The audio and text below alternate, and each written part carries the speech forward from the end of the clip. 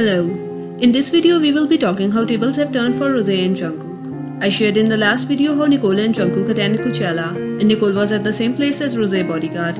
But the things that made me not so happy was the circulation of Nicole and Jungkook dating rumors, because Jungkook went to LA for the recording of the MV for his new song 7. Even though Nicole shifted to LA and left Big Hit, she is still working on Jungkook's album.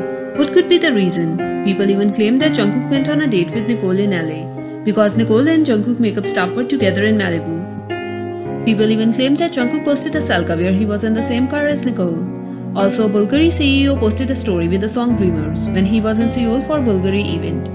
He also followed Jungkook fan account which means that Jungkook can become the global ambassador of Bulgari. So that's another bad news for Rosekook fans. We should say a goodbye to YSL contract. Rosé has also been ghosting her fans like crazy, which means that we might not be able to see new crumbs. She is also not sharing hints or tea that could show whether she is supporting Jungkook solo or not. That's all for today. Make sure to like, comment and subscribe for new updates.